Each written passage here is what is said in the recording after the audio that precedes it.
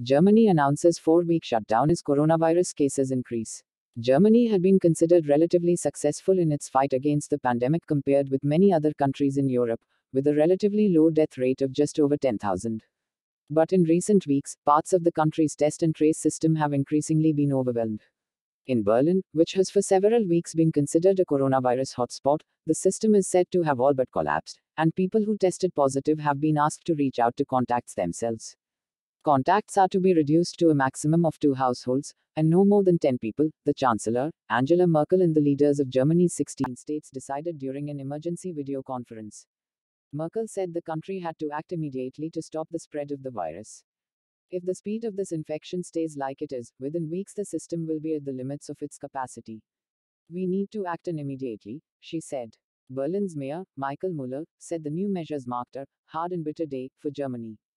Earlier, Merkel had said that the steps were necessary to tackle a situation that was in danger of spiraling out of control.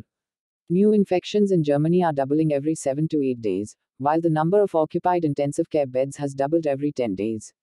We only need the doubling another four times and then the system is finished, she said. Merkel told the state leaders that every day counts, arguing that the more they did now, the more time we buy for the Christmas holidays.